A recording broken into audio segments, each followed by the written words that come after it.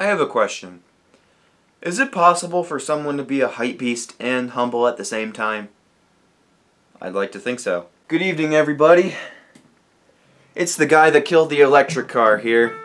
Welcome back to another episode of.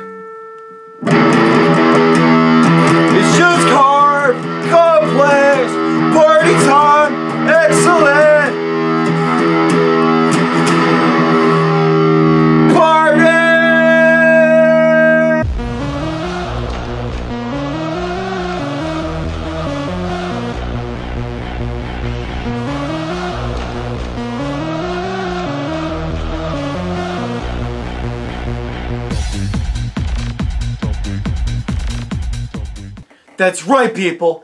The show is back. Yeah. Yeah, hells yeah. This show is back in the game.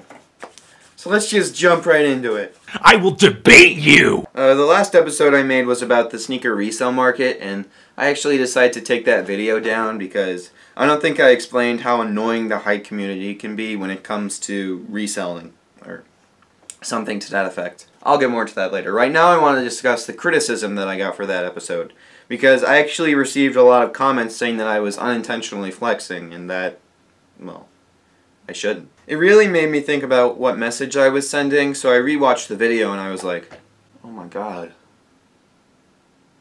I am flexing to my subscribers. Listen, I don't want to flex. Alright, that's the last thing I want to do.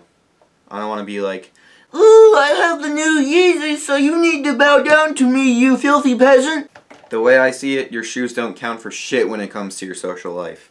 Even if, even if you have a pair of Nike Air Mags. I just don't want to seem like the kind of guy that constantly flexes their shoes, or their shirts, or whatever this is. Well, it's not even that. It's like not being a douchebag. Okay, let's generalize things a little bit. I might wear these clothes, but I'm not gonna walk up to somebody and say, hey, hey, hey, have you seen my new Kids See Ghosts hoodie? Cost me 850 bucks. This is a term that I like to call being a humble hype beast. Because there's nothing necessarily wrong with buying expensive shoes or expensive clothing. It just becomes a massive problem when you're fucking obnoxious about it. Because you don't see me flexing any of my clothing, but you see people like this idiot right here, Rice Gum, who made it rain on a homeless person while coincidentally wearing a gray box logo and zebra 350s. This guy's literally the worst person on YouTube. He's radiating the most douchey personality possible, and he's flexing to his subscribers. That's actually what he's doing. I don't want to be anywhere near that kind of person. I just want to look fresh. Is that such a crime? Lots of other famous people follow this philosophy, like for instance, Jeff Goldblum. He's a really nice and smart guy, and he's been doing really good things in the world. And you know what? He's one of the freshest looking people I've seen.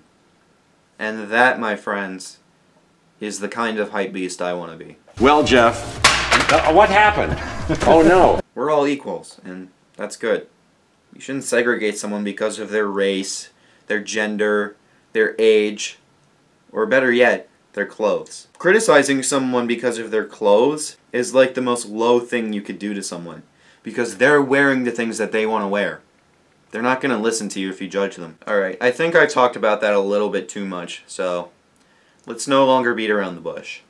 Let's talk about why the sneakerhead community is kind of annoying. Hey, how much for them J's? Thousand dollars. Sold. Let's say you're like me, and you're trying to get a newly restocked pair of the Air Jordan New Beginnings pack. Let's say that Nike was nice enough to restock it after all of the outcry caused by the amount of shoes they made. You're confident with yourself that after all of these months of striking out, you know you're going to get it. Except, it's not there. You figure it's just a website error, so you refresh the page. But it's still not there. You check the news websites, and to your horror, you came to the Nike website at the wrong time. You were half an hour late on the restock. You rush over to secondhand market stores all across the internet, and to your horror, the sneakers are reselling over five times their original retail price.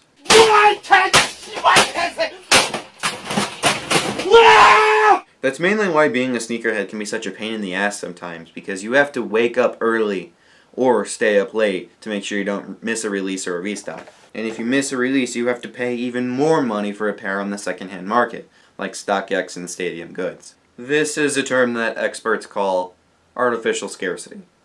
You know, companies like Nike and Supreme, they do it all the time. They make these products rarer by making less copies of it, and they might inflate the cost a little bit as well. And when you miss a release, it sucks to be you. Pay me more money, you humble troglodyte. Another probable factor in the equation is popularity. You want the shoes? Well, so does everybody else on the planet. Everyone else is waiting for a pair of sneakers to release, just like you are. This is always the case when Adidas comes out with a new pair of Yeezys and they sell out within 0.2 seconds. I'm not even exaggerating, here's proof. And another thing to remember, it's not just one person who's buying these shoes.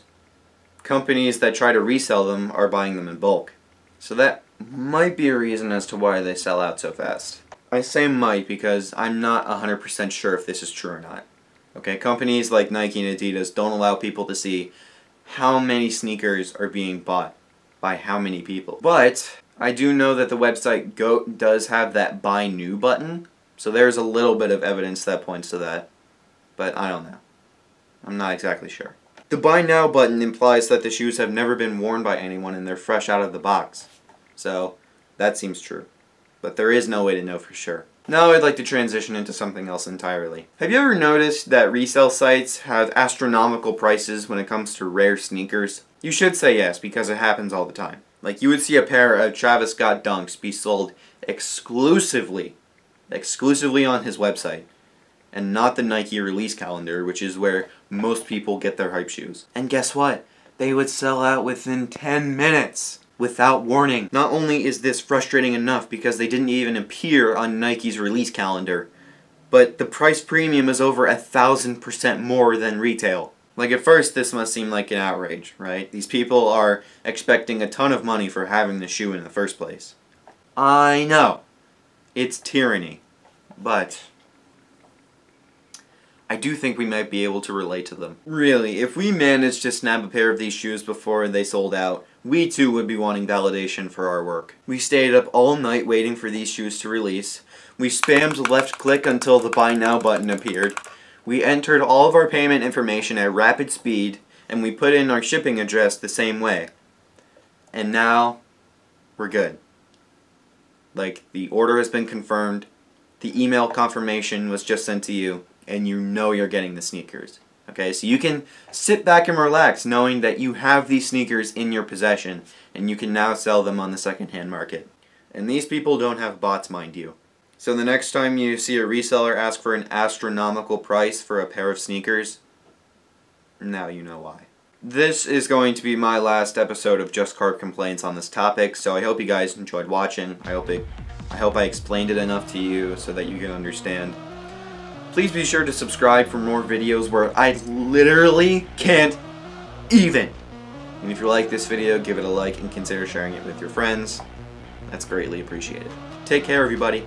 Stay home and stay safe. Bye.